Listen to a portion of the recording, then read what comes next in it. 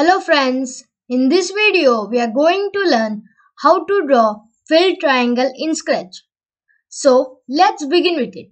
Firstly I will take when green flag click from events, then I will take pen from extension, I will take pen up, erase all, go to x is equals to 0, y is equals to 0, point in direction 90, and then I will take pen down. Then I will make a block called triangle. So to draw a filled triangle we will require a triangle. Then I will add an input called size to it and I will add one more input called steps. Then I will take if then else from control.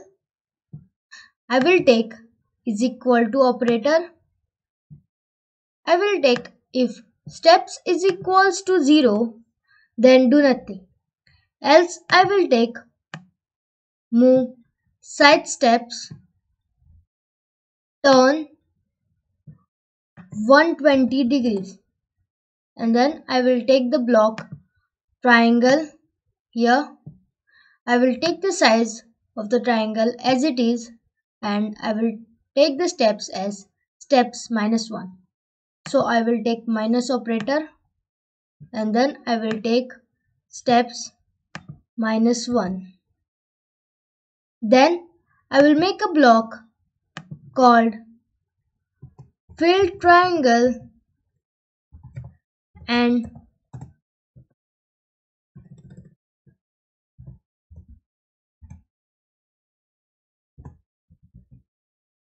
and I will add an input called size to it. Then I will take if then else from control I will take is equal to operator. I will take if size is equals to 0 then do nothing. Else I will take the triangle block here. I will take the size of the triangle as this size and I will take the steps as 3. Then I will take the fill triangle block here and I will take the size as size minus 1. So I will take minus operator and I will take this size here and minus 1. Our program is ready.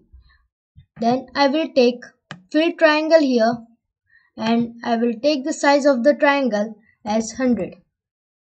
So let's check if it is drawing a fill triangle or not.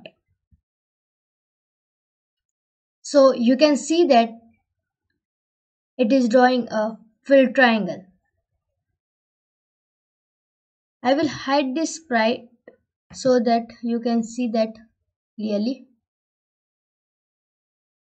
You can also take set pen size to 2 here to make it more darker.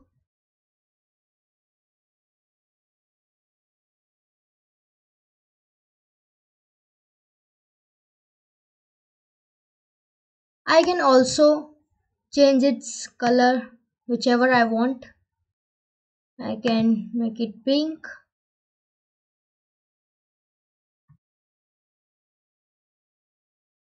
or I can make it.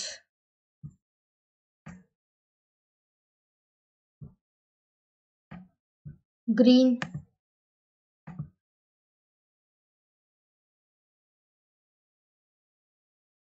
I can also edit it and take run without screen refresh to make it faster. So it will now uh, draw directly without taking time so I can change it to whichever color I want.